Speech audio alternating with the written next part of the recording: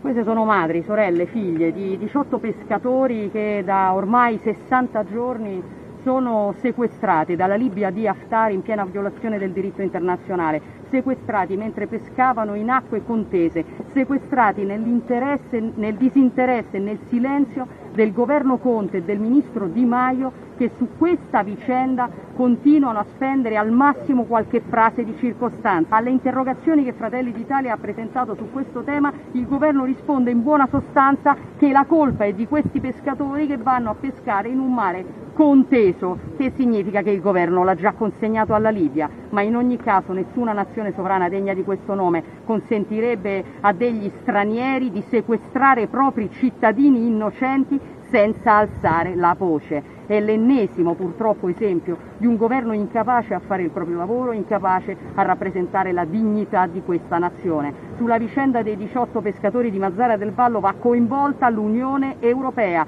e il governo deve alzare la voce. Abbiamo detto al Presidente Conte che se ci fosse un governo vagamente dotato del minimo sindacale di attributi, Haftar avrebbe già visto il profilo delle navi della nostra Marina Militare dalle sue coste, come avrebbe fatto qualunque altra nazione alla quale fosse accaduta la stessa cosa. In ogni caso, per questi pescatori, al di là della controversia internazionale che va risolta nel più breve tempo possibile, si possono dare delle risposte anche economiche, perché queste famiglie non prendono ovviamente uno stipendio da mesi, perché sono abituate a vivere del loro lavoro, un lavoro che oggi viene impedito a quei pescatori con famiglie che non hanno niente di cui sostentarsi. Sono qui in piazza Montecitorio ormai da settimane hanno allestito una tenda anche in condizioni così insomma abbastanza precarie. Stiamo cercando adesso, anche gra- sempre grazie a Fratelli d'Italia, di dare loro una sistemazione più dignitosa per una battaglia che consideriamo giusta, ma il Ministero degli Affari Esteri,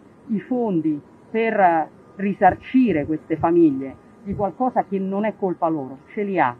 come li hanno per darli in situazioni ben meno nobili che abbiamo visto in questi anni. Chiediamo anche al Ministro Di Maio di svegliarsi e Giuseppe Conte, che ha tempo per fare una conferenza stampa al giorno, se mentre passa uscendo da Palazzo Chigi tirasse fuori il cuore per venire a stringere la mano a queste famiglie, beh farebbe una cosa sicuramente degna di nota, che finora non ha avuto l'umanità per fare.